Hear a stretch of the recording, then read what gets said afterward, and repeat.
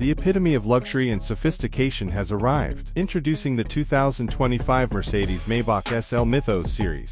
But is it truly the ultimate luxury car? Let's find out. With its breathtaking design, the SL Mythos series stands out in the world of luxury vehicles. The attention to detail is evident in every line and curve, making a powerful statement of elegance and prestige. Step inside, and you're enveloped in unparalleled luxury. The cabin is adorned with the finest materials, from handcrafted leather seats to intricate wood and metal accents. This is where innovation meets sophistication. The SL Mythos series features cutting-edge technology, including an advanced infotainment system with a crystal-clear touchscreen, a fully digital instrument cluster, and seating that redefines comfort and support. Performance is at the heart of the SL Mythos series. Its powerful engine ensures a smooth and exhilarating ride, whether you're cruising on the highway or navigating city streets, this is driving at its finest. Safety and convenience are paramount in this luxury car. With state-of-the-art safety features like adaptive cruise control, lane keeping assist, and advanced collision avoidance systems,